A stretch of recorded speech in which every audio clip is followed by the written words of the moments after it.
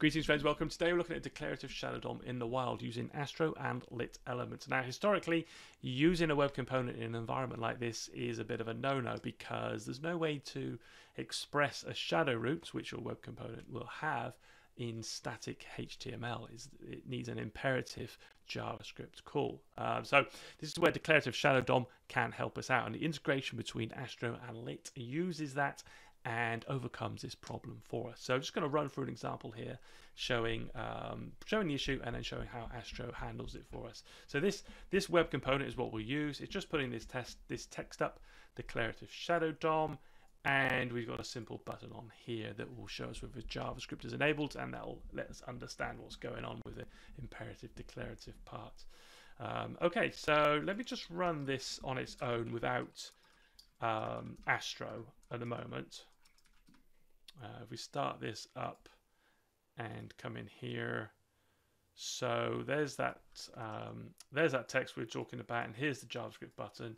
I click on that, and it shows that JavaScript is running. Now, if we come in here and disable JavaScript, so if I disable it now for this site, so when I click on this, nothing's happening. So JavaScript is definitely gone. And if I refresh the page, notice we completely lose the element. Um, let me just let me just enable it again for a second. So let's have JavaScript back on and it's working. If we look at the component here, you can see my element. Um, it has been upgraded. It's got a shadow root. Um, so everything is working there because we've called custom element define.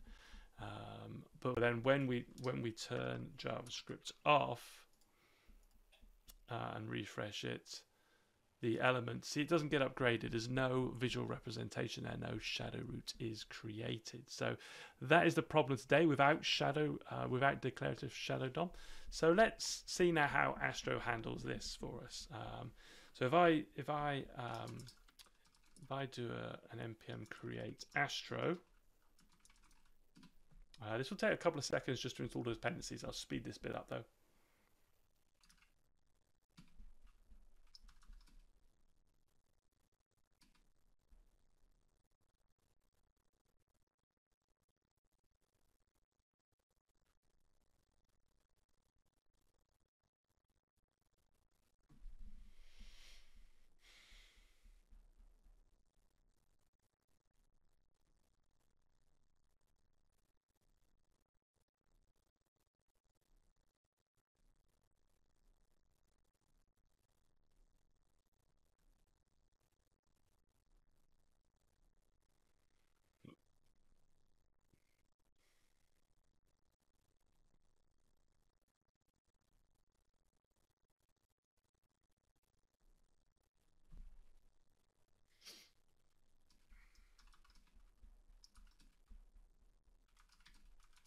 Okay, we've got that created. Let's um, let's let's add the integration. So for Astro to work with Lit, you need to add uh, an integration. So let's do npx astro add uh, lit, and this will set up the whole um, declarative shadow DOM scenario for us. So I'll just say yes to that, and it will update the config in Astro to allow lit to work as well.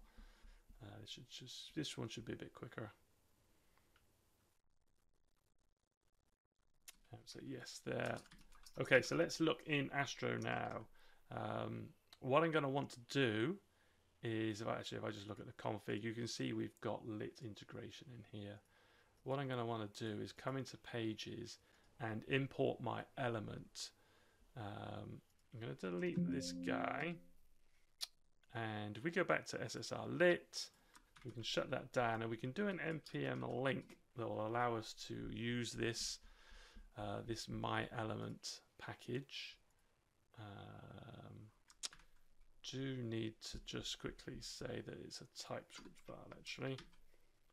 So it's TypeScript and link that. Now I can come into Astro and I can link to that component. So I can do an npm link ssr lit. And then on our page, I can now import my element.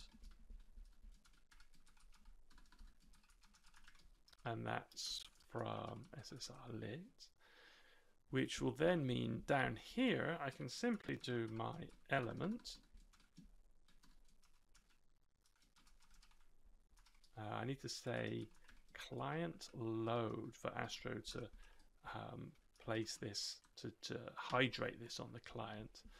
Um, and that is kind of all we need to do there. I should be able to do an npm run dev now. And then on port 3000, we've now got our, you can see this, the Astro page here, and we've put our component above here. So we've got the same thing declarative Shadow DOM.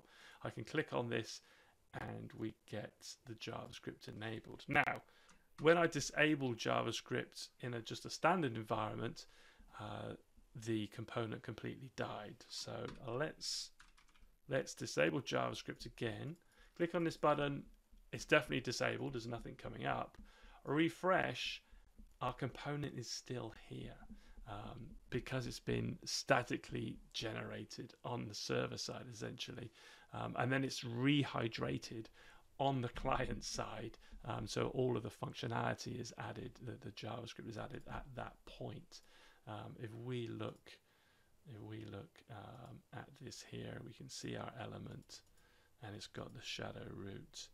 Um, and so everything is working there as normal. And so in terms of um, SEO, you've now got your component physically physically there in the HTML, so it's very good for H, uh, for SEO and good for the fact that it simply just works as well.